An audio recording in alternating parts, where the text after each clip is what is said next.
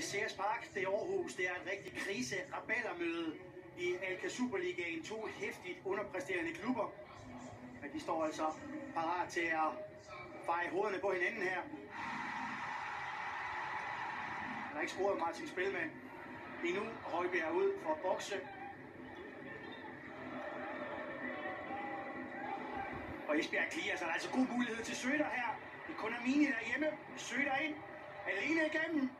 Søder, chip og 1-0 til Vestjyderne. En isdus til AGF, der satte sig hæftigt i den her kontrasituation.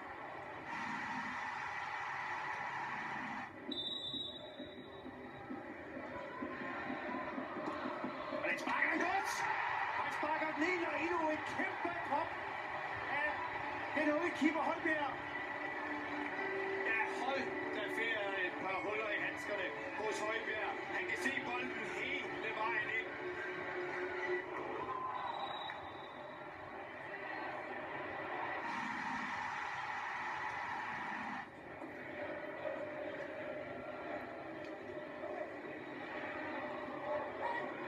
med Indlægget kommer Wilson, og det er fremragende mål! Mads Wilson! Ja, det er fremragende hættet ind. Det er super angreb af Esbjerg. Men hvor er det simpelt. Det er den lange bold op på en angriber, og så bliver den lagt til rette ud på siden. Søder og Vilsum bliver knebet hele sæsonen af Søder. Mulighed til AGF. Junker sætter fart. Det er en ordentlig tur, hvor han har. 3 mod 2. Junker ind. Junker udligner. Han løber over 60 meter med bolden. Kasper Junker. Og den her afslutning, den sidder i rosen. Kvittering AGF. Så bliver det svært at komme ordentligt ind i AGF her. Daniel A. Petersen, der trykker af i nyt drop. Og 3-2. Spilman sætter den i nettet. Han åbner altså for en ladeport af ekstase i Aarhus. Ja, det er så fint, det er fint. Fuldt op af Martin Spelman, og skal man score sit første mål i AGF-trøjen her i, det er vigtigt et af slagsen. Og en ny stor fejl. Junker! 4-2 til AGF. Det er jo kæmpe, kæmpe koks, der er i Esbjergs bagerste geleder. Sverige en dyb løb. To stopper, der står og kigger på hinanden.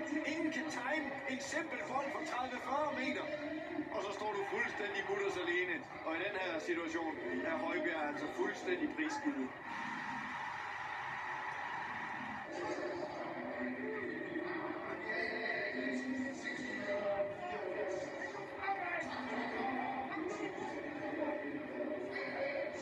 Junker til baglinjen. Indlægget kommer, så Spilman der.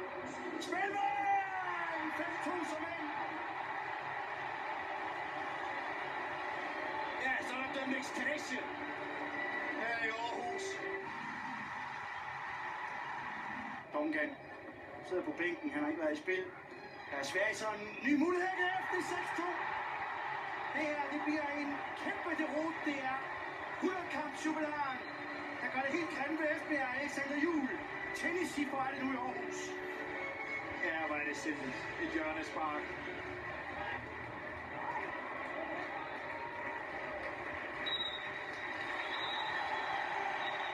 Kæmpe jubel i Aarhus.